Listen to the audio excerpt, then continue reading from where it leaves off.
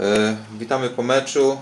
Przede wszystkim zacznę od tego ekranu, czyli Chelsea w podwójnej koronie jest 11 kwietnia, czyli to jest bodajże 6 kolejek przed końcem, jeśli się nie mylę.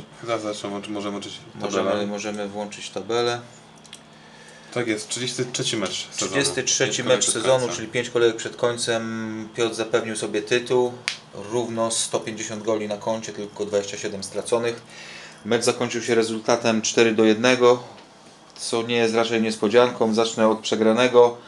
E, Czy w ogóle widziałeś jakieś szanse w tym meczu, żebyś mógł cokolwiek mu zrobić, czy, czy jak to w ogóle widzisz? E, Nie, no wynik jest dla mnie oczywisty. Nawet nie brałem innej opcji pod uwagę, tylko porażka. E, Też jakoś bardzo się nie skupiałem nad tym meczem, bo nie było sensu większego. Szkoda mi Staricza, ma jakąś kontuzję pewnie, Mhm. musiał już zejść w międzyczasie. No i zobaczymy, no jeszcze nie jest wszystko stracone, ale najlepszej sytuacji nie ma. Tak, w tej chwili w tabeli Liverpool jest na czwartej pozycji, 66 punktów. Mój Arsenal 72 punkty, jeszcze mecz zaległy, także e, co prawda szans nie straciłeś na drugie miejsce w lidze, ale będzie to, mi się wydaje, niezwykle trudne.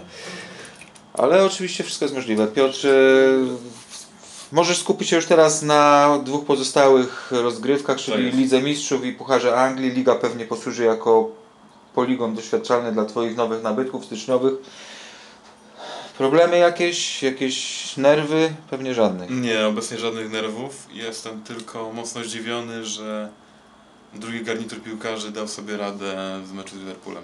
Mecz był wyrównany, przeważała skuteczność i to, że Czech kilka razy otował mi, mi tyłek przy akcjach Ibrahimowicza. Dziękuję bardzo za rozmowy i widzimy się później.